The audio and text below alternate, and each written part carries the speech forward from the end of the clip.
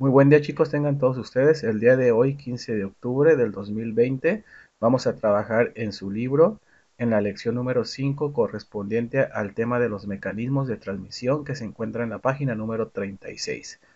Todos juntos vamos a leer la introducción, que es un mecanismo. Utilizamos máquinas de forma cotidiana. La mayoría de ellas incorporan mecanismos que transmiten y o transforman movimientos. El diseño de máquinas exige, escoger el mecanismo adecuado no solo por los elementos que lo componen, sino también por los materiales y medidas de cada uno. Los mecanismos de transmisión se encargan de transmitir movimientos de giro entre ejes alejados. Están formados por un árbol eh, motor o conductor, un árbol, un árbol resistente o conducido y otros elementos intermedios que dependen del mecanismo particular, una manivela o un motor realizan el movimiento necesario para provocar la rotación del mecanismo. Las diferentes piezas del mecanismo transmiten este movimiento al árbol resistente solidario a los elementos que realizan el trabajo útil. El mecanismo se diseña para que las velocidades de giro y los momentos de torsión implicados sean los deseados, de acuerdo con una relación de transmisión determinada. Pasamos a la página número 37. En la figura se puede apreciar la transmisión trasera para un carro. El eje vertical mueve el engrane que impulsa las ruedas hacia adelante o atrás. En este mecanismo los ejes están perpendiculares entre sí. Se puede decir que la posición entre los ejes es de gran importancia al diseñar la transmisión. Las situaciones son principalmente tres, ejes paralelos, ejes que se cortan y ejes que se cruzan.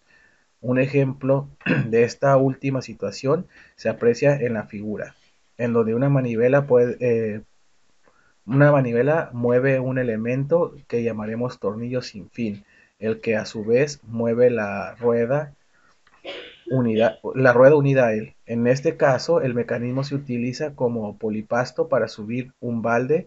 Los ejes se encuentran en una posición ortogonal, o sea, se cruzan a 90 grados.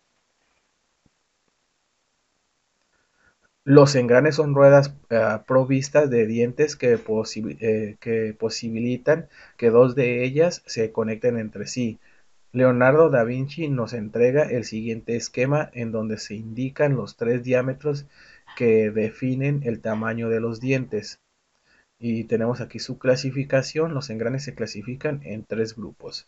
En engranajes cónicos para ejes que se cortan y se cruzan tornillo y rueda helicoidal para ejes ortogonales, engranes cilíndricos para ejes paralelos que se cruzan.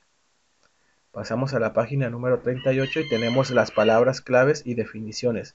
Diámetro es la línea que divide exactamente en dos a un círculo. Trabajo es el esfuerzo realizado durante el uso de los engranes. Carga es el objeto o masa eh, levantando o movido que proporciona la resistencia a los engranes. Bisel es un ángulo inclinado que no es un ángulo recto. nota, los engranes fueron un invento bastante moderno. Eh, son usados para cambiar la dirección de un movimiento circular y aumentar, disminuir la velocidad según sea necesario. Actividad en clase. Recuerda las máquinas que usas en tu vida cotidiana, anótalas y escribe el uso que les das. Aquí les muestro un ejemplo. Tenemos la máquina, el uso y cómo funciona. Eh, la bicicleta.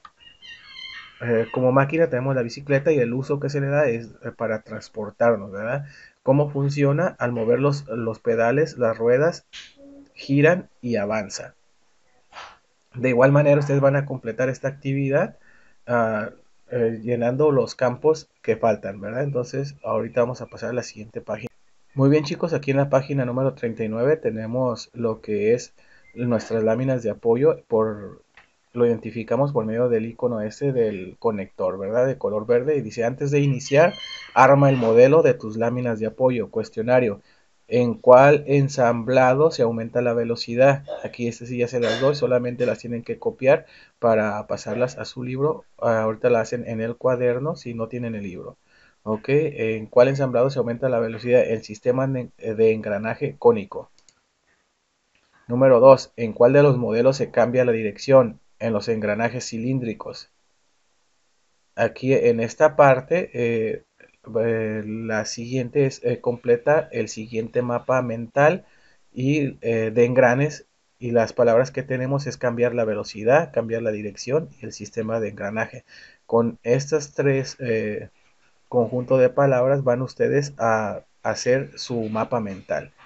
Ok chicos, por el día de hoy es todo. Que tengan muy buen día, que Dios los bendiga. Nos vemos hasta la próxima.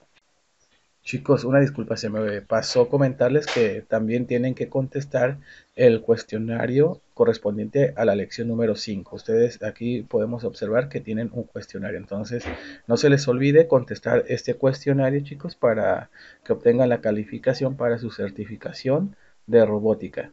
Ok, ahora sí, chicos, nos vemos. Hasta la próxima.